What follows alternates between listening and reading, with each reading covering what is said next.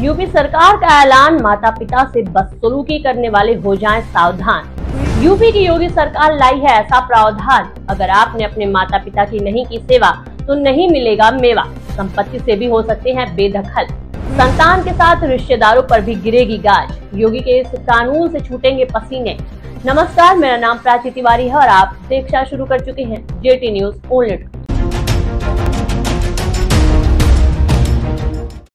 कई बार ऐसा होता है, अपना घर होते हुए भी माँ बाप को वृद्धाश्रम में रहना पड़ता है।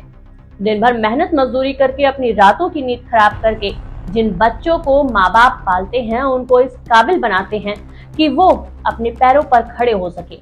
वही बच्चे बड़े होकर अपने माँ बाप को बोझ समझने लगते हैं।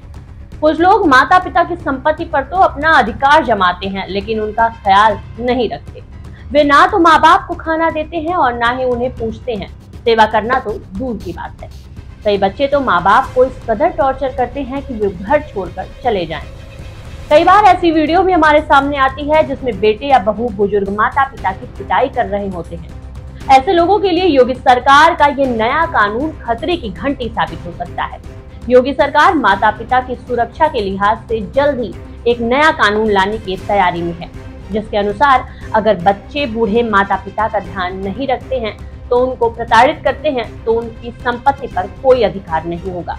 यानी वो संपत्ति पाने से वंचित रह जाएँगे। साफ़ शब्दों में कहें तो बूढ़े माँ बाप को परेशान करने वालों से संपत्ति छीन ली जाएगी। यूपी में अक्सर ऐसी घटनाएँ सामने आती रहती हैं, जहाँ अपने ही बच्चे माँ बाप की देखभाल नहीं करते और उनको परेशान करते हैं।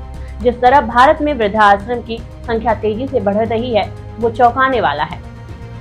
देश में लगभग 1500 वृद्धाश्रम है, जहाँ करीब सत्तर हज़ार से भी अधिक वृद्ध रहते हैं।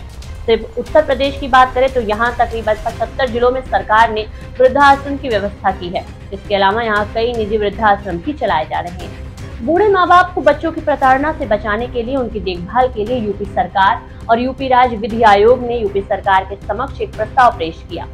इसके लिए राज्य के विधि आयोग ने वरिष्ठ नागरिक का रख रखाव कल्याण अधिनियम 2017 में संशोधन के लिए सरकार के समक्ष प्रस्ताव पेश किया। इस प्रस्ताव के पास होने के बाद योगी सरकार का कानून एक अलग कानून बनाएगी, जिसके अनुसार माता पिता के साथ गलत व्यवहार करने वाली संतान को उनकी संपत्ति में कोई हिस्सा नहीं मिलेगा। योगी सरकार जल्द ही ये कानून लाने की तैयारी में है, यानी जो बच्चे माँ बाप का अच्छे से ख्याल नहीं रखते, वो संपत्ति के उत्तराधिकारी नहीं होंगे। इसके साथ ही अगर बच्चे या रिश्तेदार वृद्ध माता पिता की सेवा उनके घर में ही रहकर नहीं करते तो बुज़ुर्ग उनको बाहर निकाल सकते हैं। वहीं इस प्रस्ताव पर योगी सरकार जल्द से जल्द मोहर लगाकर कानून बनाने की तैयारी में है। कई माता पिता इस खबर को सुनकर खुश हो रहे हैं। वहीं लोगों का कहना है कि ये एक बढ़िया कानून है, इस बारे में आपकी क्या राय है? क्या माता पिता की सेवा के लिए कानून बनाने का योगी सरकार का फैसला सही है? क्या ये प्रस्ताव पारित होना चाहिए या नहीं? हमें अपना प्रस्ताव नीचे कमेंट बॉक्स में ज़रूर बताएँ और ऐसी ही वीडियोस के लिए बने रहिए हमारे साथ। वीडियो अच्छी लगी हो तो चैनल को फेसबुक पर फॉलो करें और यूट्यूब पर सब्सक्राइब करना ना भूलें।